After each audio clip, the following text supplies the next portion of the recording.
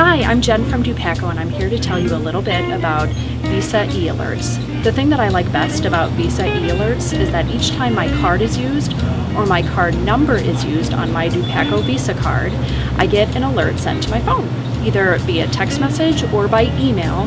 The thing that's beneficial about this is, in the case that my card would have been stolen or lost, or if my card number has been stolen um, and used by fraudsters, it'll alert me to my phone in a very timely manner that my card has been used and I can check into it.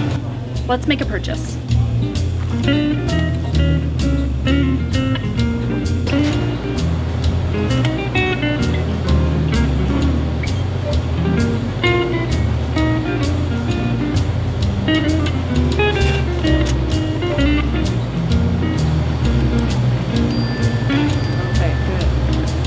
Ding ding, did you hear my text message come through? I made a purchase of this tea just a minute ago, and because I used my Dupaco Visa, it came through and it showed me that somebody had just used my Dupaco Visa. So there you go. If I didn't make the purchase, then I would log into my Shine Online Banking and I would see what's going on. And if it's really not an authorized purchase, I would definitely pick up the phone, call Dupaco, and report some potential fraud.